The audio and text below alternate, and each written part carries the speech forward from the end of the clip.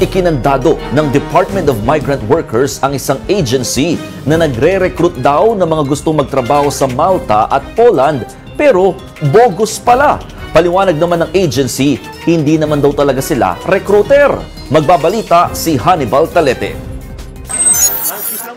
460,000 pesos. Ganyan daw kalaking halaga ang ibinayad ng isang nagbabalak maging OFW sa recruitment agency na OVM Visa Assistance and Travel Consultancy sa Barangay Pasong Tamo sa Quezon City.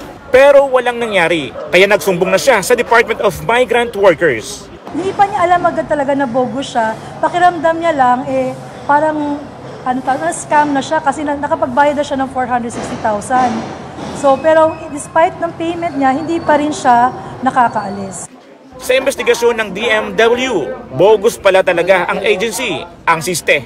Nag-aalok sila ng trabaho bilang hotel and restaurant workers sa mga bansang Malta at Poland. Pagkatapos ay hihingi ng down payment sa mga biktima hanggang sa uunti-untiin na nila ang paniningil ng processing fee. Magbabayad muna sila ng down payment na 60,000 Once na ma-issue yung visa, 100, 100, 100. Hanggang sa mabuo nila yung 460,000. Nabisto pa na ni isa, wala pang naipadala sa abroad ang nasabing agency. Kumpirmado ring wala itong license to operate, kaya agad ipinasara ang recruitment agency. Pinakakansila na rin ang business permit. Hindi nakausap ng DMW ang may-ari na si Vilma Rosario. Pero ang kapatid niya, heto ang paliwanag. 2019, bago mag-pandemic. Na-assist lang po namin yung ano, kukuha ng visa. Pang-apat na ito sa mga ipinasarang illegal recruitment agency ng DMW. Kaya patuloy ang paalala nila sa publiko na lumapit lang sa mga lehitimo. Kailangan may lisensya mula sa Department of Migrant Workers. Ito lang talaga yung kanilang business at meron silang job order na approve ng labor attaché natin.